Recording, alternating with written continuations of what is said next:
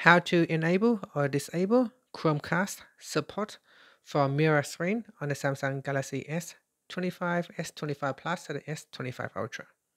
First, tap on the home button to return back to the home screen. Then on the home screen, swipe down at the top to open up quick settings. In here, tap on the settings icon.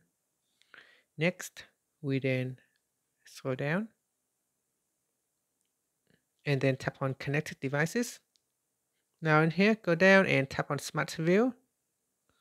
Now you can see here in the smart view, there is only a Samsung TV um, available in the list because uh, Samsung support smart view. So if we go into more, so tap on the more button and go into settings. In settings, go down and tap on labs and then turn on Chromecast support. Now if we go back to smart view, you see there are more devices available for you to cast. And that's it. After that, you can tap on the home button to return back to the home screen. If you find this video helpful, please like and subscribe to my channel for more videos.